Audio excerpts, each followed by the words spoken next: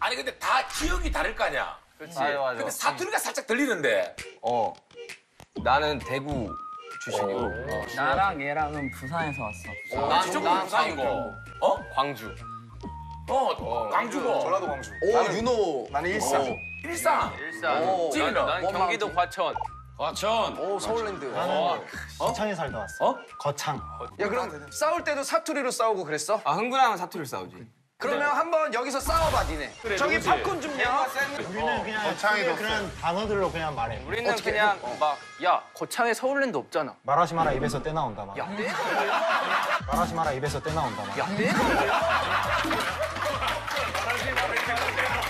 되게 상처받게 말하네. 그게 뭔지 안다. 야 나도 경상도에 살았는데 입에서 때라는 걸 얘기를 안 하거든.